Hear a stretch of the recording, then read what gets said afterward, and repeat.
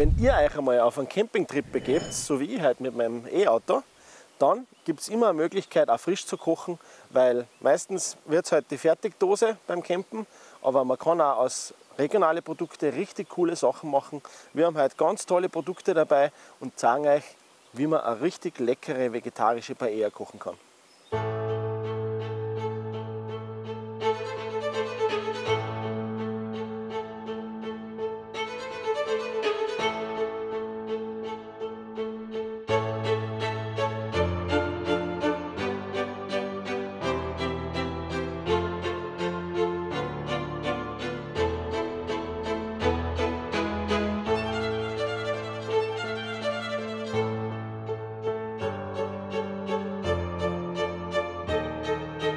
Grüß euch bei natürlich gekocht.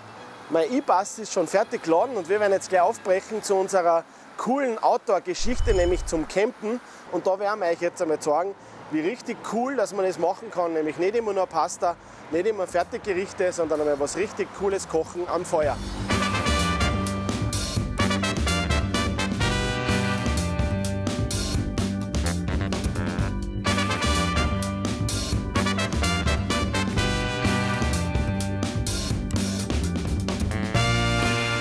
Servus, grüß dich. Dich habe ich schon gesucht. Grüß dich, Markus, du, servus. ich brauche unbedingt heute Pilze. Wir machen heute nämlich eine vegetarische Paella und äh, ich brauche heute so ein bisschen einen Fleischersatz. Und da glaube ich, bin ich bei dir richtig. Ja, also da passen wahrscheinlich eh die Austernpilze super, Ja, genau. oder? Das sind ein super Fleischersatz auch. und, und schmecken halt von sich aus auch extrem, extrem geschmackig. Ja. Wir haben natürlich auch Shiitake da, ab und zu Kräuterseitlinge oder ein paar tropische Pilzarten wie Zitronenseitlinge oder Rosenseitlinge. Wir können uns einfach mal anschauen, wie das ausschaut. Das ist eine gute Idee. Der Austernpilz gehört zur Familie der Seitlingsarten. Und die Herkunft ist nicht ganz genau bekannt. Er ist in jedem Fall weltweit erhältlich. Der Austernpilz ist ein ganz ein toller Fleischersatz, weil er einen ganz einen hohen Eiweißgehalt hat. Dabei hat er nur ganz wenig Fett- und Purinanteil. Somit ist es auch super für Menschen, die unter Gicht oder Rheuma leiden. Er hat Vitamin B2 und B6 enthalten, super für unser Nervensystem. Er hat auch nur ganz viel Kalium enthalten, das wirkt blutdrucksenkend. Jede Menge Ballaststoffe, die super sind, um unsere positiven Darmbakterien mehr aufzubauen. Das heißt, auch unsere Darmflora wird so regeneriert. Er hat auch nur Antioxidantien enthalten, die zellschützend wirken. Er hat auch den Wirkstoff Lobostatin enthalten, der wiederum kann senkend auf unseren schädlichen Cholesterinspiegel wirken. Also das habe ich mir nicht so vorgestellt. Gell? Also dass das so große Buschen fast schon sind. Die Reaktion, die du jetzt gerade gesagt hast, sehen wir voll oft. Ja, es ist gewaltig. Wir machen das auf sogenannte künstliche Baumstämme. Durch das, dass wir die Form so nachahmen, kriegen wir eben eine wunderbare, also eine ganz hohe Qualität von Austernpilze. Ja. Und eben auch solche großen, wo eben auch solche großen Pilze dabei sind. Allgemein im Wachstum von Pilz haben wir zwei Phasen. Und die erste ist eben so das Myzelwachstum. Wo der, man kann sich das so vorstellen, wie wo der Pilz die Erde eben durchwächst im Wald. Bei uns durchwächst er halt den Sack, bis er eben ganz weiß ist. Und in der Phase muss es eben warm sein. Wir brauchen wenig Sauerstoff ähm, und es soll dunkel sein. Okay. Und wenn die Phase dann abgeschlossen ist, stellen wir es in den Raum, wo wir jetzt sind, der sogenannte Fruchtungsraum. Und da haben wir Temperaturen ähm, und Bedingungen wie im Herbst. In dem Raum machen wir dann diese Löcher rein und der Pilz erkennt dann eben selbst, wo sozusagen der Sauerstoff zu ihm dazukommt und da kommt er dann raus. Also endet das irgendwann? Ist der aus, gibt's da ausgewachsen oder, oder wächst das immer weiter? Theoretisch wächst es wirklich immer weiter. Okay. Ähm, aber wir machen es so, dass wir den Sack immer circa sechs Monate bei uns im Fruchtungsraum herunten haben. In der Zeit wächst er viermal raus. Als Vergleich wie so ein Sauerteig, weil den züchtet, der geht auch immer weiter, eigentlich, oder? Ist im Prinzip eigentlich nichts anderes, oder? Wie der Hefepilz ist auch ein Pilz. Ja. Gleiches System. Ja. Und wie bist du jetzt eigentlich zu dem gekommen? Also Pilze züchten ist jetzt nicht üblich, ne? Also bei mir war es eben so, ich habe immer schon gewusst, dass ich mal den Hof übernehmen würde. Gleichzeitig wollte ich aber immer irgendwas Neues machen, irgendwas, was noch niemand vorher gemacht hat damit mit dem Hof. Im letzten Studienjahr dann habe ich ein Auslandssemester in Shanghai gemacht, Okay. weil ich meine Sprachkenntnisse verbessern wollte. Und bin eben draufgekommen, dass in China oder allgemein in Asien im Supermarkt jederzeit ca. zehn verschiedene Pilzarten gibt. Dann habe ich mich halt weiter informiert und eh, wie wir eh schon gesagt haben, die, die Zucht geht super auf, auf Reststoffe aus der Landwirtschaft wie Stroh oder Sägespäne. Es geht in alte Gebäude, die nicht mehr wirklich für andere Zwecke genutzt werden, wie unser alter Obstkeller oder der Stall. Ja. Ähm, und gleichzeitig sind halt Pilze sehr gesund und eben kulinarisch sehr vielseitig. Ja. Und ja, dann haben wir das mal probiert und es ist eigentlich gleich mal ganz gut angekommen. Dann haben wir gedacht, machen wir ja weiter damit. Wo beziehst du dann die Sorten her? Weil da gibt es da für jede Sorte einen eigenen Samen oder einen Ausgangspunkt? Also man braucht erstens die Pilzkultur und zweitens eben die Rohstoffe. Und bei der Pilzkultur funktioniert das so, also wir machen auch unsere eigenen Pilzkulturen. Da sind wir einer, eigentlich einer von einer Handvoll Betriebe im deutschsprachigen Raum, die den ganzen Ablauf selbst macht. Ja. Und für die Kultur gibt man eben einen, einen abgeernteten Pilz in eine spezielle Nährlösung rein. Okay. Der wächst dann weiter und so vermehren wir den Pilz wieder. Habt ihr da eine eigene, eigene äh, sag jetzt eine Produktion noch zusätzlich, wo ihr die Sachen züchtet? Wir haben eigentlich in unserer alten Traktorgarage wir ein Reinraumlabor gebaut. Ähm, ja, also wenn du magst, schauen wir es uns gleich an. Da ist ja auch wieder einiges da. Also das ist jetzt der Raum, wo wir unsere Kulturen vorbereiten. Also da haben wir jetzt eine Kultur von einem, von einem Igelstachelbart. Und das ist sozusagen dann die erste Stufe, oder? Genau. Diese Kulturen mischen wir dann eben mit unserem Substrat, aus dem dann wiederum die Pilze wachsen. Da haben wir jetzt einen frisch angesetzten Sack, wo eben nur lauter so kleine Stückel von der Kultur drinnen sind. Und die wachsen dann nach außen, sozusagen, bis sie sich gemeinsam zu einem Pilz verbinden. Man kann sich das so vorstellen, dass ja der eigentliche Pilz das Myzel ist. Also eigentlich die, die Masse oder die Punkte, was wir da sehen, ist der eigentliche Pilz. Und der, der Fruchtkörper, der Pilz, der dann wächst, dient eigentlich nur zur Vermehrung. Wie oft musst du dich mit den Kulturen eigentlich im Labor beschäftigen? Wir machen das eigentlich so zwei Tage die Woche, wo wir mit den Kulturen arbeiten. Okay. Weil man muss eben bei der Arbeit mit den Kulturen immer ein bisschen vorbereiten. Also man muss eben frisch duschen, man muss ganz saubere Kleidung anziehen und eben auch den ganzen Raum vorreinigen. Und erst dann darf man mit den Kulturen arbeiten. Das Allerschwierigste ist, dass ja wir in der Luft ähm, eigentlich mit jedem Atemzug wahrscheinlich ein paar hunderttausend Schimmelsporen mit einatmen. Und das Problem ist, dass der Schimmel immer ca. 50 Mal so schnell wächst wie den Pilz, den wir haben wollen.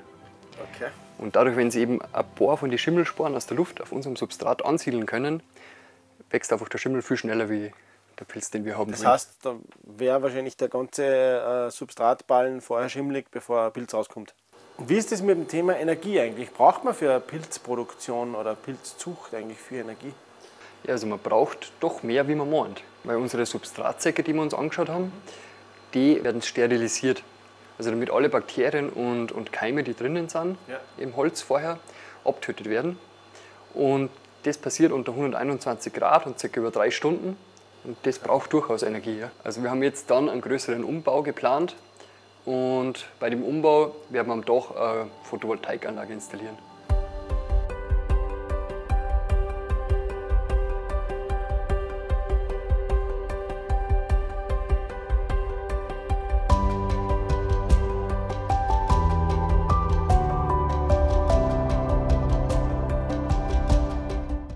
Also richtig super schöne, große, perfekt, Dankeschön. Dann mache ich mich jetzt am Weg. Ja, bitte. Ciao.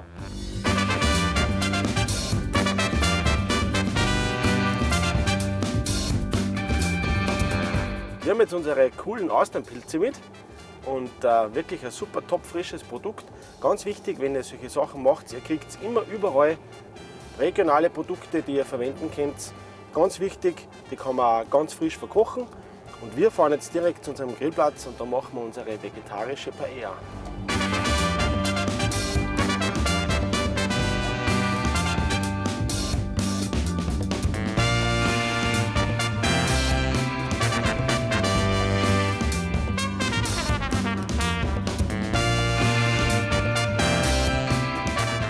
Wir sind jetzt angekommen an unserem Campingplatz und wir werden uns jetzt anschauen für unsere Paella, nämlich eine vegetarische Paella, die also super variabel ist, weil Paella ist natürlich grundsätzlich äh, sehr fischlastig mit Huhn etc. Man kann die aber auch vegetarisch machen mit regionalen Produkten. Ein bisschen eine Basis braucht man natürlich, dass auch Paella bleibt. Das heißt, wir brauchen unseren Reis, wir brauchen äh, ein bisschen an Safran, äh, Knoblauch, wir brauchen Zwiebel, wir brauchen ein bisschen an passierte Tomaten Und das ist einmal so unsere Basis, aber die kann man super regional gestalten. Das heißt, wir haben unsere super coolen, leckeren Austernpilze. Ich habe noch ein bisschen eine, also eine Buschbohnen mit dabei und dann haben wir schon eine richtig klasse vegetarische Geschichte. Was uns nicht der Sport bleibt, ist die Schnipseln. Das müssen wir trotzdem machen und das werden wir jetzt einmal starten.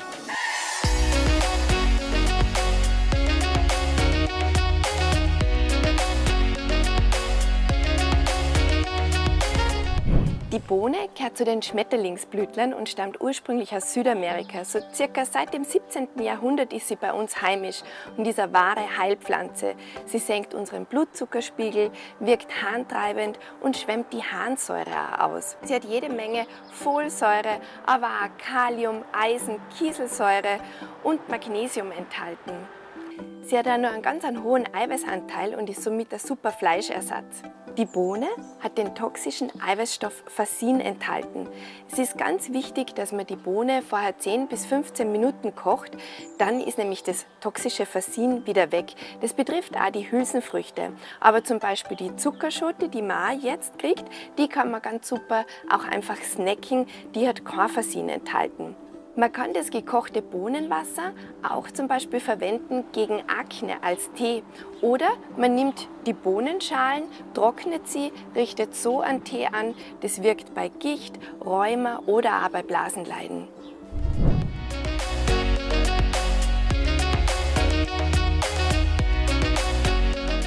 So, jetzt haben wir unsere Austernpilze und unsere Buschbohnen schon richtig schön angeschwitzt.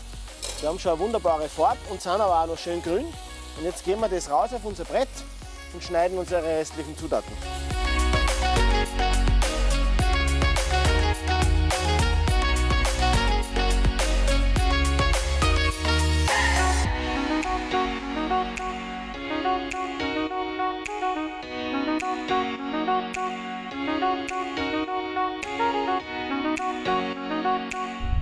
Der Paprika gehört zu den Nachtschattengewächsen und stammt ursprünglich aus Südamerika. Es gibt wirklich zahlreiche verschiedenste Formen, Arten, Sorten und Farben. Aber die gelben, roten und orangen Paprikas, das sind immer die reifen.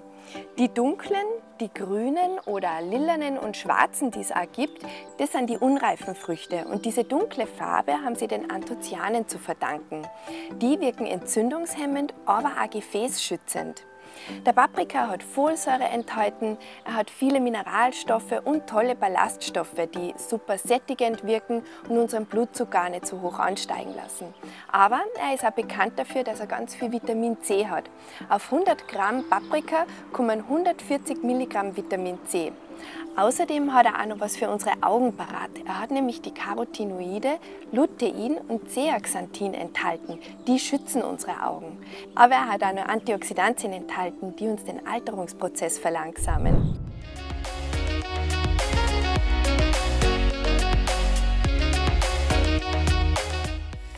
Und einen super Energiespartipp habe ich gleich noch für euch. Campen ist natürlich perfekt, offenes Feuer, sparen wir richtig Energie. Und äh, in dem Fall kommt auch der Reis jetzt gleich dazu. Äh, wir brauchen den nicht extra kochen, sondern der kocht sozusagen in der Paella, in dem Fond direkt und wir brauchen dann nicht extra einen Topf. Für mehr Energiespartipps einfach einmal die Alexa fragen.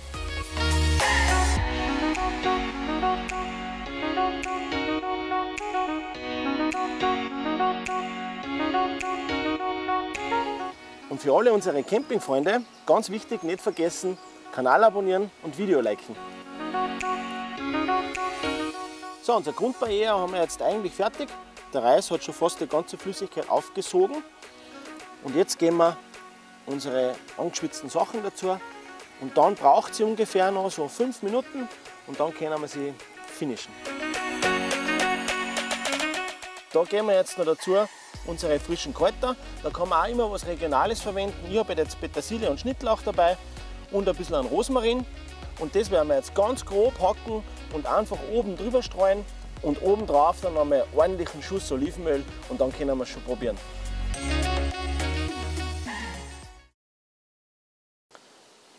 Also wie ihr seht, die Paella ist wirklich sehr vielfältig.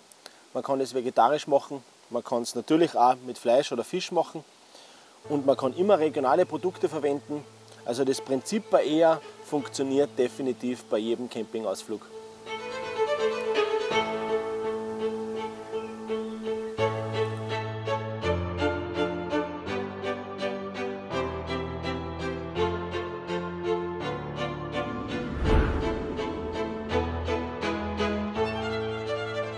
Und wenn euch unser Video von heute gefallen hat, dann schaut einfach einmal auf unserem Kanal vorbei, da gibt es noch mehr davon.